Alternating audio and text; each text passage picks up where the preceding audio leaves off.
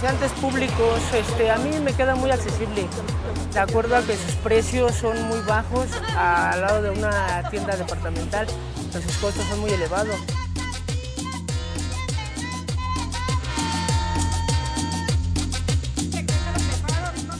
De hecho, suelo ir a las dos partes.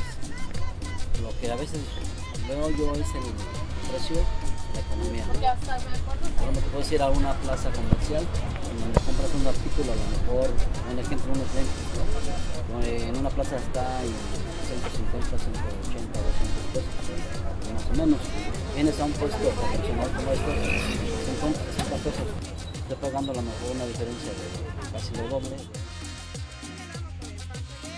En la economía, hablando directamente, totalmente este, eh, es un beneficio. Te voy a decir, yo vengo y me hago un trabajo aquí de- para mi belleza, el cuidado de mi persona, hablando físicamente, estéticamente.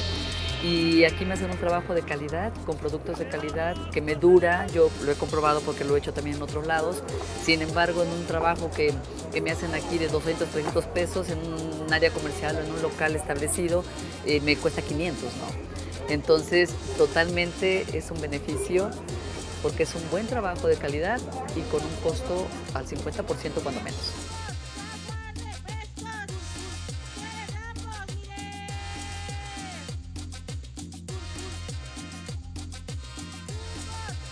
En lo personal a mí sí me representa un poquito mejorar mi economía porque sale más barato.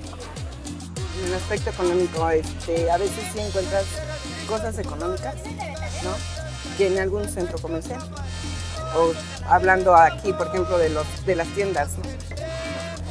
Dado que los precios son bastante accesibles, digo, comprar una torta por 20 pesos, una tole por 10, pues es algo bastante económico a desplazarte a otro restaurante y pagar una comida por 100, 150. Yo creo que sí- sí ayuda a la economía personal.